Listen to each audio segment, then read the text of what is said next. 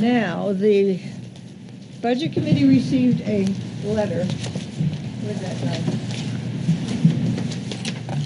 Uh, Last, late last week, I believe most of the letters were received on Friday from Town Counsel, uh, requesting information from the Budget Committee under the Right to Know law. And the Budget Committee's response is as follows. Dear Board of Selectmen, per RSA 91A colon 4, Roman 4, we, the undersigned, acknowledge your 91A request dated 12/14/2016. Further, we, the undersigned, expect pending consultation with legal counsel to be able to determine if your request will be granted or denied by January 20, 2017. And there are two, three, four, five, six, seven, eight members of the Budget Committee who have signed that request. Uh, I need your approval, first of all, to send this letter, and second, to hire counsel. Let me make a motion, if you would, please, along this line.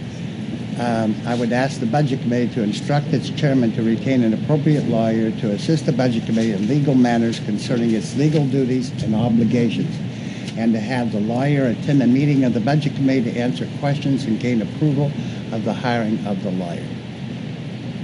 And we have a second? Mr. Maurer is seconding? Okay, you understand the intent. That's all. Make sure that Barbara got that, because sometimes you're talking softly. There are nine signatures, I'm sorry, Barbara, on the letter. Okay. Want to repeat? Yeah. Or do you want to just repeat it? Because Uh, Barbara Just give her the copy, Mike. Now, let me read it first. yes. I Uh, couldn't hear you. Okay, I, I'm asking the Budget Committee in the form of a motion to instruct its chairman to retain an appropriate lawyer to assist the Budget Committee in legal matters concerning its legal duties and obligations, and to have the lawyer attend the meeting of the Budget Committee to answer questions and gain approval of hiring of the lawyer. Okay. You understand the intent? Are you all set, Barbara? Or we'll wait a minute till you get that? He'll give you a printed copy. Yeah, you can give them a call. You can have this copy. Oh, okay. Okay. I'm going to need a copy, Regina, of this, which has the signatures of the Budget Committee on it, and I'm not near a copier, so before you leave, if you would make a copy for us, and you can keep this copy to pass on to Attorney General or the, and the board. So I can make a copy, yes? Yes, okay, because we'll need a copy for our files. So you won't, you won't, you won't satisfy our 91A request? No, no, that does satisfy it. Okay, According to 91A, we have the choice of three. We can either accept, you know, give the uh, requested uh, documents, or deny the request, or three, Yes. provide a date by which we will either accept or deny. And that's the third choice that we've chosen there. okay, all right. Okay, and Barbara's gonna need a copy of this as well, so if you'll make a couple of copies before we leave, Okay. okay. Uh, would you pass that down to Regina? Madam Chair, And in favor, yes, sir? for the record, the precinct had already responded to the 91A request. That's all, that's all right, Yeah, I'm just putting it on the record. that's okay. But we just want to make sure that we are uh, adequately represented. Okay, in favor of the motion made by, Me, wait a minute, first we had the motion to accept the letter that Regina had. No, we didn't. We just had a motion to hire a lawyer. We don't need an acceptance. You don't People's need- signatures on it is sufficient. Each Okay. of them are responding as individuals. So Mr. Pierce's motion, which was seconded by Mr. Morrow. Mr. Maurer. Okay, you understand the intent. In favor? Brian, what you doing? We haven't got to that part yet. Are you in favor? No. No. Okay, well, let's see what. One, two, three, four, five, six, seven. Okay, and wait a minute, because Barbara has to get your, your hands. Okay. Abstaining? Danielle? Ginny, what are you doing, ma'am? I'm opposed. Okay. And ever, anyone else opposed? I'm opposed. Mr. Mm-hmm. Ladd?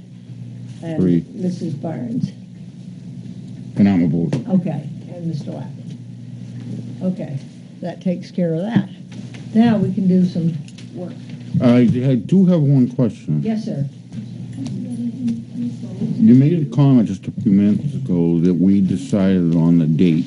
Brian. Who is we that decided on the date? What date? Uh, you will report this or send it to, it's just the way you worded it. You said, we decided on a date, and I wanted to know who we were. I'm not, I don't remember exactly how I phrased, but if you say, what I said was we had five days to respond to the Selectmen's 91A Right. request, Yep. and tomorrow is the fifth day. Okay, So we have to respond before tomorrow, and we're not meeting tomorrow. So this Yeah. is the time we're meeting. So that's when we brought the, um, our response to the board. perfect explanation. That's, I was just curious. Sorry about that. I might not have phrased that properly, but you always make sure I say things right. you did. Okay. Point of information, Mary Louise.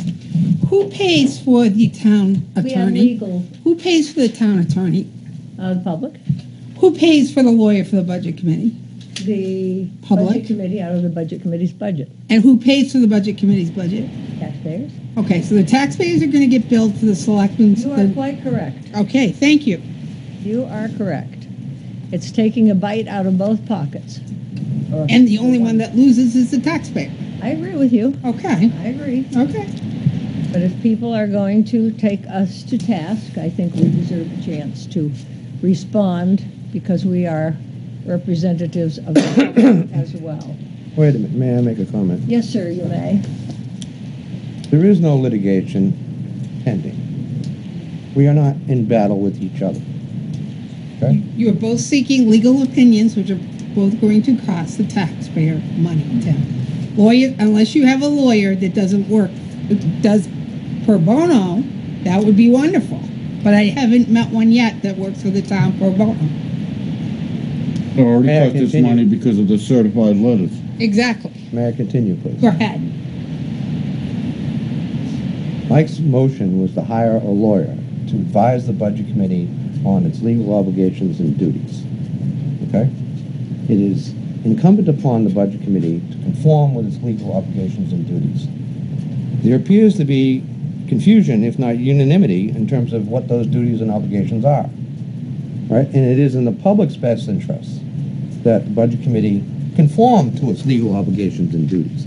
So this action is an intent, is, is an attempt to go further down the road in fulfilling our legal obligations and duties. I did not interpret Mr. Pierce's motion as, as adversary in any way at all.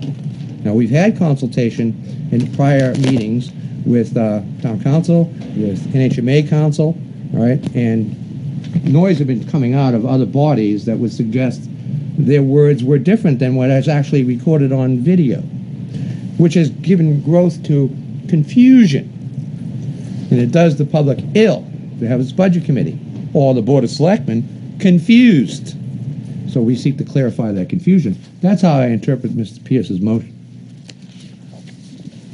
There is no litigation, there's no advers- adversarial posture being taken, as far as I'm concerned. And we will look forward to being informed or advised or Correct. whatever is the appropriate term. Okay. I have a comment. Hasn't town counsel already advised you? Yes. May may I respond to that, Madam Chair? Please. Town counsel has respond, has, has advised us uh, on, um, uh, I think it was November 5th of 2015, last year. And his words spoken uh, at the Board of Selectmen's meeting were somewhat at odds with the words he spoke here at the Budget Committee. A video of both meetings. Uh, I've analyzed them. There's inconsistency and confusion. It is clear that the, the Board of Selectmen's attorney, Gerald, is representing the Board of Selectmen and their interests. That's perfectly understandable. He is their client, or rather, they are his client. We need an attorney so that we can have an understanding that is clear and is looking at the law from the Budget Committee's point of view, not simply adopting whatever the Board of Selectmen's point of view via its lawyer would have us believe. Well, I don't understand. There was sev- several members that didn't have a problem. Just, I mean, I send all my emails. I mean, what what is there to hide? That's what I don't get. To me, this is just a I way. didn't- I, oh, excuse me, Yeah. I didn't suggest there was anything to hide. Yeah, well, then I don't know. Where why the suggestion there was anything to hide? Nobody's saying Because every single email goes to every single member of this board, which Okay, is so an therefore, illegal you- meeting. therefore you're all happy. And then on top of that, we have people responding. That is a meeting. That's speculative. That is a meeting that That is is not, speculative. the public does not have. You're- you're It's in- not speculative. I've witnessed it on my email. You're email. introducing facts that are not in evidence, madam. Oh, really? I have it in my email that I I'd have like, to, forwarded. s- I'd like to see an email that was sent out by anybody on this committee that was responding. to. Okay, I'd I got to see one. all of it. Show it to us. Show well, it to if us. I get onto it right now, I will. I want a hard copy. All right, I'll print it out tomorrow, Okay, do and that. I will send it. Oh, I have There a- is Because I no have it. reason whatsoever for us to become adversarial over this. We, at least I, have in complete confidence that I am going to completely comport with 91A and all other laws of the state of New Hampshire. That is an absolute. I will not bend on that. All right? Well, we're going to do it, from my point of view, I'm going to do it absolutely correctly, according to the letter of the law. And I need a lawyer to do that. If I have to hire one on my own, I will. The budget committee has a budget line for it. The budget committee as a whole wishes to do that. I think that's highly appropriate. I support that. We can act as a as one committee. We should act as one committee, not as a bunch of individuals running around pretending to represent the committee. Yeah, let me make, the- let me make this. Really? Yeah. May I speak? Yeah. May I Who make I this represent, I represent the town. That's not. all No, right. you represent It's- the Board of Selectmen. man. We You are all the Board of represent Selectmen's town. representative. That's a fact. Yeah. That's what you're here for, to be the representative of the selectmen. Okay, You're Mr. not, Kravitz you has are the not anything floor. to do with the public, sorry. I got part of the. Excuse Not- me. not you don't here. have. You don't know anything that I have to do with. All right. Regina, let Regina, me, that's let me enough. say something, all Mr. right? ahead, Kravitz Sonny. has the Okay. floor. We don't want to cost the taxpayers any more money. The town counsel has a budget line for outside attorneys. We will use that and deduct it from his line for outside counsel. We're, he's representing the Board of Selectmen in this, right? He brought the action.